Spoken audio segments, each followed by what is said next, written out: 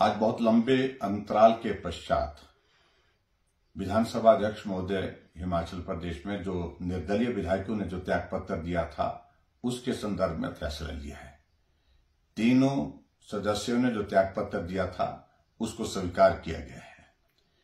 और मैं इस बात को लेकर के हैरान हूँ कि विधानसभा अध्यक्ष महोदय जी ने जिस प्रकार से राजनीतिक दृष्टि से कांग्रेस की सरकार को बचाने के लिए काम किया और जिससे ज़ाहिर होता है कि कांग्रेस पार्टी का, कांग्रेस की सरकार का उनके ऊपर या तो दबाव था या कोई बहुत बड़ी इस तरह की बात अंदर की जिसके माध्यम से वो मदद करके कुछ अपना लाभ लेने की कोशिश कर रहे हैं। मैं इस बात को लेकर के भी हैरान। मैं ही नहीं, पूरा प्रदेश और पूरा देश यहाँ तक के। जहाँ हमने ऐसे शब्दों का इस्तेमाल किया है जिसकी वीडियो क्लिपिंग्स हमारे पास है, कि छह के सर कलम कर दिए और तीन आरे के नीचे और बहुत आनंद के साथ बोल रहे हैं।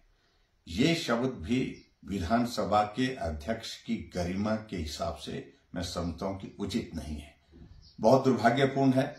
जिस प्रकार से हिमाचल प्रदेश में विधानसभा के अध्यक्ष ने पूरे इस घटनाक्रम में राजनीतिक लाभ कांग्रेस पार्टी की, को देने की कोशिश की, कांग्रेस की सरकार को बचाने की कोशिश की, ये दुर्भाग्यपूर्ण है। ये लंबे समय तक इतिहास का हिस्सा रहेगा। जब विधानसभा अध्यक्ष ने तटस्थ होकर के नहीं फैसला लिया और उल्टा कांग्रेस पार्टी के प्रभाव में, दबाव में रह करके फैसला लिया।